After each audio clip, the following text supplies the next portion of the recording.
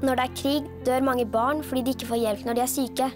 Det er ofte langt til sykehuset, og mange steder er de ødelagte og mangler viktig utstyr. Når du blir fadder, bidrar du til at Røde Kors kan sette opp feltsykehus. Da får barna hjelp og medisiner, selv om de lever i krig eller er på flukt.